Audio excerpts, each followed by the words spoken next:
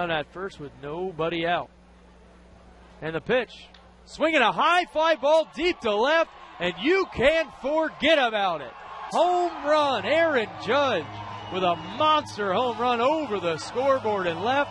His first career professional home run. And he's tied this ball game at seven here in the seventh. What a moonshot by Aaron Judge. We had been waiting for him to barrel up a baseball for a couple of weeks now.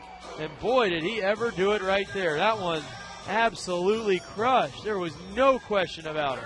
Left fielder Carroll just gave it a courtesy, kind of turn and jog back towards the wall, and that one was way out of here.